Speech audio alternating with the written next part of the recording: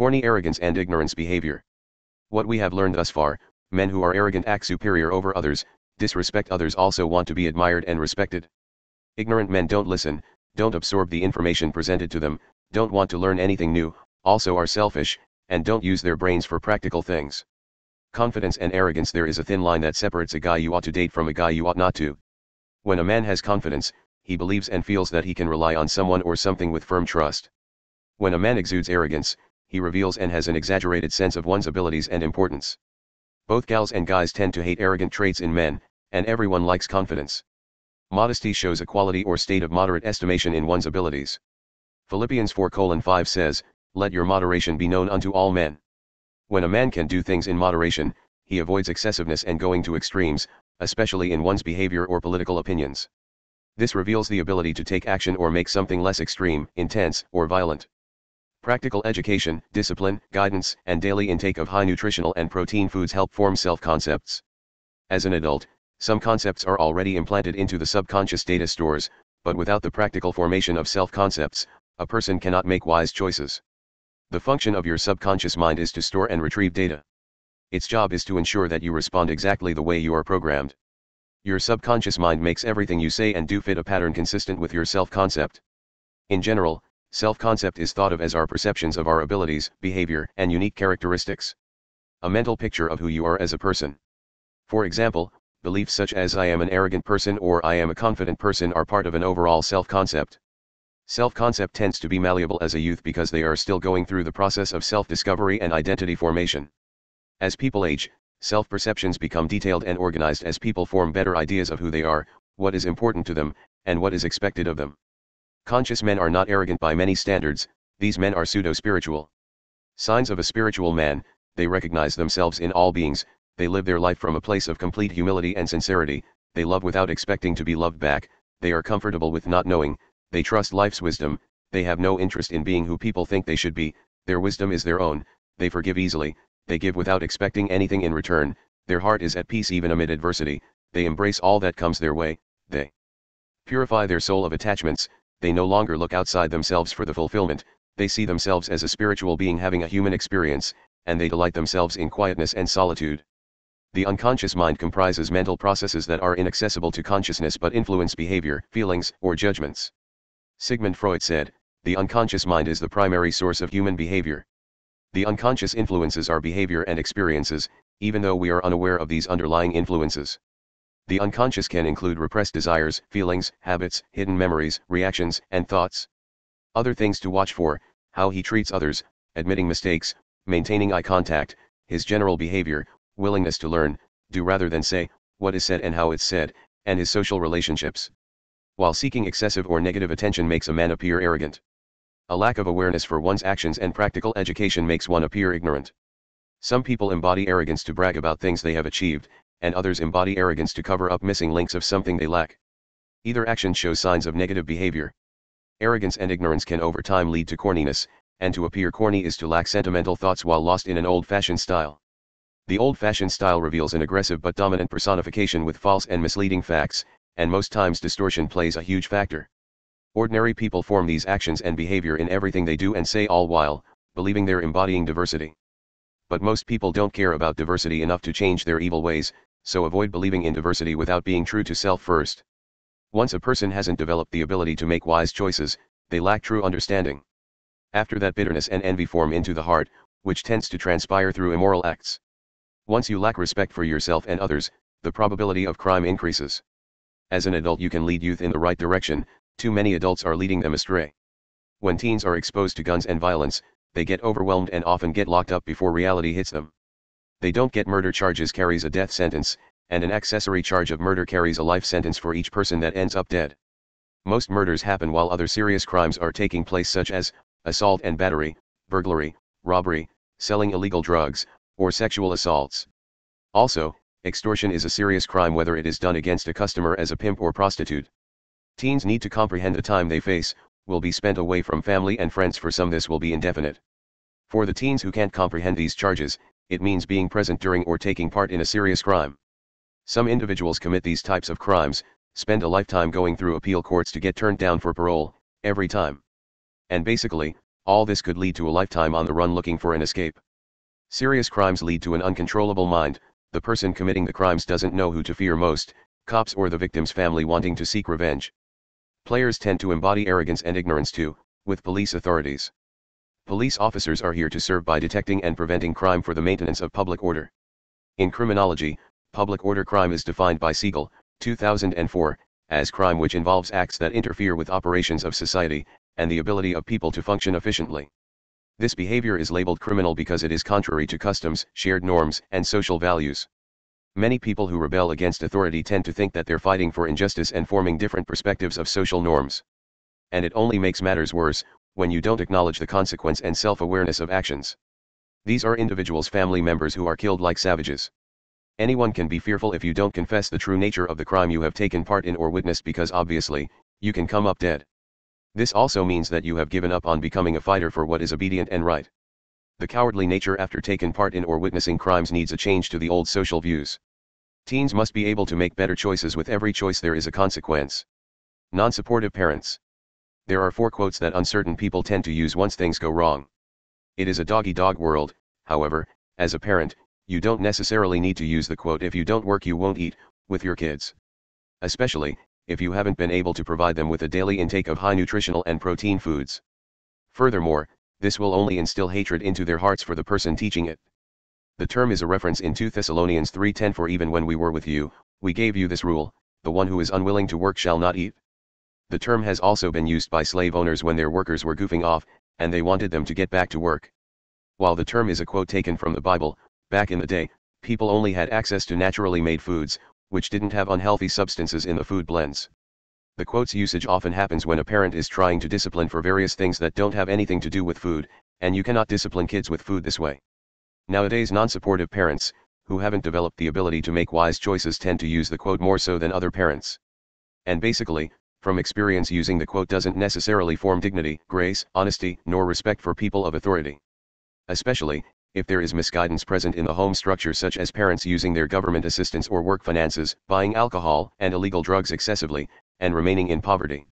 Receiving help from the government is a basic opportunity that can help anyone get ahead in life. Those finances are to be spent on high nutritional and protein foods, along with better housing and transportation. Non-supportive parents who use the quote if you don't work you won't eat, also tend to use the quote the white man is keeping me down. Or the black man is keeping me down. Two non-supportive parents tend to use the quote, you are not the parent or you are not a good parent, to their kids with kids of their own. When all these social views have needed new perspectives for quite some time now. As a result of most parents who did these same things rather not take ownership of the negative things they did, which has helped ruin their kids' lives. However, they will quote I've raised my kids right, in a heartbeat. It isn't necessary to go out the way ruining your child's testimony, embodying a double-minded and evasive lifestyle. When embodying excessive arrogance or ignorant behavior, it doesn't say you value the sacrifices Jesus made. You ought to want to do and explain things like a supportive parent because practical formation and responsible conversation heal kids. Ordinary people haven't been willing to change these social trends, but all perspectives weren't put together where they can be ironed out until now. Crime statistics showed in the U.S. during 2014 there were 1,165,383 violent crimes reported. This included aggravated assaults, murder, non negligent homicides, rapes, and robberies. These crimes were reported by law enforcement. During this time 73% arrested for these crimes were males, and 27% of arrests were females. Aggravated assaults were 63.6% of violent crimes, robberies 28%, rape 7.2%, and murders 1.2%. Property crimes totaled 8,277,829 this included, burglaries, larceny, and motor vehicle thefts. Larceny thefts was 70.8%, burglaries 20.9%, and motor vehicles 8.3. The financial losses victims suffered totaled $14.3 billion. Arrests during this time totaled 11,205,833, though 498,666 were for violent and 1,553,980 property crimes. The highest number 1,561,231 arrest was for drug abuse, larceny theft 1,238,190 and then 1,117,852 driving under the influence. Violent crimes during 2014 decreased by 0.2%, while property crimes decreased by 4.3% from 2013. Mankind showing remorse. Cultural refinements have remained one of the hottest topics for centuries now. In the past having and showing remorse meant you feared a wrongful conviction. Today having or showing remorse means the person convicted of a crime, guilt, or innocence can be proven through DNA association. Jesus cried out when he was put on the cross, My God, why hast thou forsaken me? Matthew 27 46, while God would want mankind to know he hasn't forsaken them, DNA can confirm their innocence. In 1989 the first DNA exoneration took place, and statistics showed 20 of 341 people exonerated served time on death row, with 4,658 being the number of years served totally. Out of the 341 people exonerated 36 had pleaded guilty to crimes they never committed. Nevertheless, many African American players since DNA exoneration has been established are more susceptible to committing a crime. And nowadays even with DNA exoneration African American males dominate crime statistics.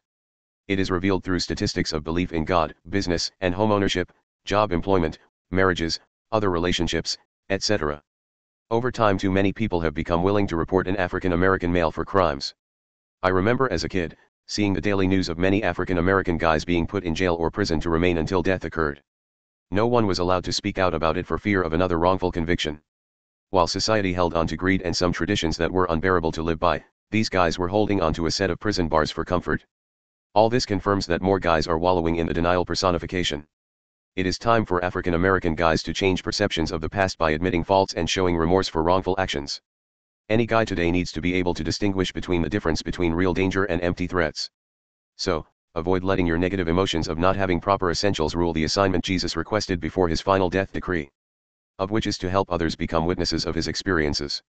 It is highly recommended that you examine your instinct with God's intent, to change human actions and behavior on any given basis. If you don't believe in God's power, you won't believe in the human race as a whole. A lifetime of guidance and obedience leads to blessings, hope, and prosperity. And a lifetime of disobedience and misguidance leads to destruction, violence, and incarceration. Deuteronomy 30 15 18, and basically, you walk after defiled flesh which is a symbol of the devil's flesh. It is your choice, so don't blame God or others for the choices you have made when it comes to living to die. Be about his life, and get over yourself, it isn't all about committing crimes. Sympathetically, Try sharing the gospel. Homeless statistics showed in the US there were 564,708 people homeless in 2015. This included veterans. There were 436,921 adults and 127,787 children homeless, 69% were living in shelters and 31% on the streets. In 2014 there was 578,424 homeless a decrease of 13,344 from 2013. From 2007 to 2015 the homeless population decreased, but the death total increased due to the increase in gun owners. Homelessness impacted a need for expansion of help program services but overall, the expansions didn't get utilized enough to impact homelessness. Though expansions have decreased due to the state's financial crisis. Involuntary forms of homelessness are the results of drug addictions, crime rates, forms of extortion, mental illness, and sex addictions. Advocating homelessness 30 years. Although mankind evolved from the wilderness, we have revolutionized from valuing a wilderness lifestyle. America where there are tons of opportunities to profit from legal businesses and jobs, due to lack of righteous knowledge of traditions mankind continues to habitat in the wilderness. When you are used to making short-term decisions, you don't take into consideration the world advocates for the here and now, a popularity behavior. And so, you tend to think with an old-fashioned mentality, that often seems out of touch with reality. Nevertheless, the various reasons that people become homeless range from alcohol or drug usage, job loss, no motivation, or willpower to achieve. To a family member taking over government assistance income for their benefit, and taking over a family member's government assistance to benefit, is a form of extortion. Homeless shelters, mental facilities, and prisons are involuntary forms of homelessness.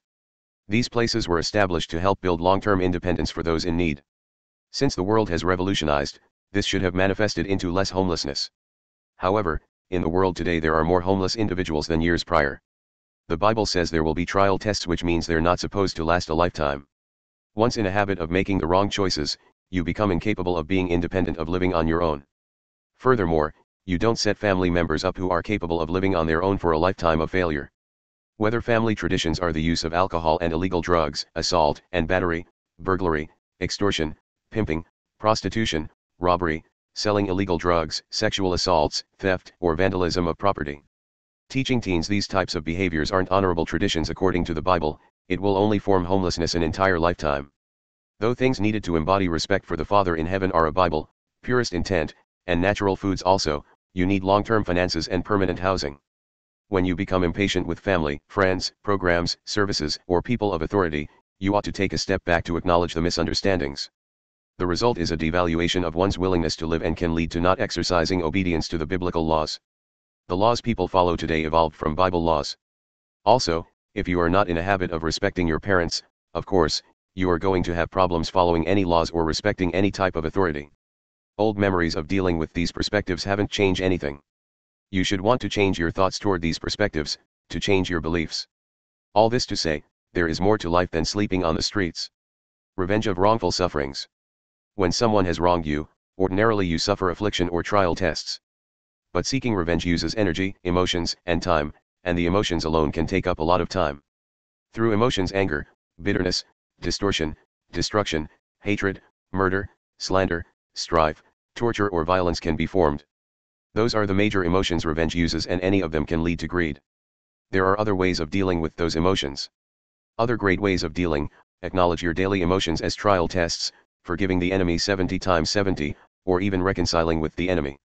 Once you acknowledge the daily emotions as a trial test, simply stay on track with biblical knowledge and don't give up.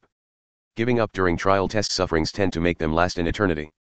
Although the forgiveness emotion doesn't get expressed often, it too is a matter of convenience.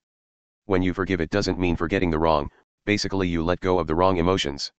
If you practice reconciliation during forgiving someone before revenge takes place, it is best to come to a saving grace point with that person to prevent becoming a prisoner of the emotions.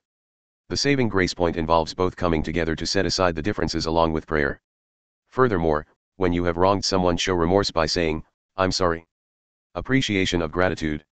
Often not having the essentials such as, comfortable housing, further education, health supplies, supportive parents, and proper guidance, thereafter the influence can be meaningless negativity.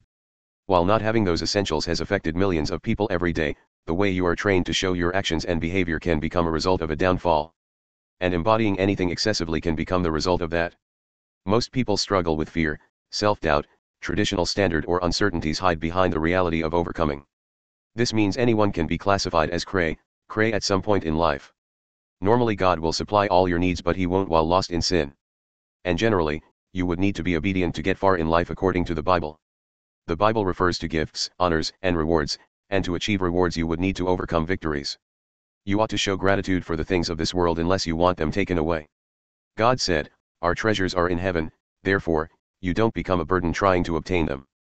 This includes the use of alcohol and illegal drugs, assault and battery, burglary, extortion, pimping, prostitution, robbery, selling illegal drugs or sexual assaults, theft and vandalism of property.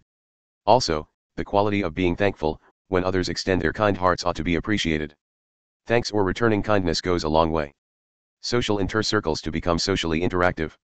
Some people move around a lot, and others get themselves locked up to avoid social interactions. They tend to feel intimidated, and so they rather go through the extremities of trial tests. God would rather you acquire further education to become profitable, rather than advocating destruction and violence seeking homelessness or incarceration as an outlet to hide in fear. The prison system isn't working for most people, and incarceration should be the last thing on anyone's mind.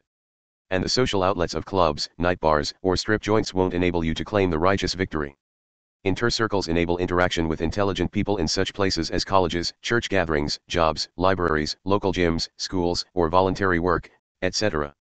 They are a place for refuge and reinvention, and basically, you are out of danger of wicked people of the world. While communicating with others for long-term guidance, leadership, and structure overlooking the fear of criticism. Either of which will help to embody a righteous personification with concern and value for people in a time of need, and it will help to become spiritually connected you will ultimately become satisfied with yourself and the direction you are headed, and you will value obtaining a degree of education.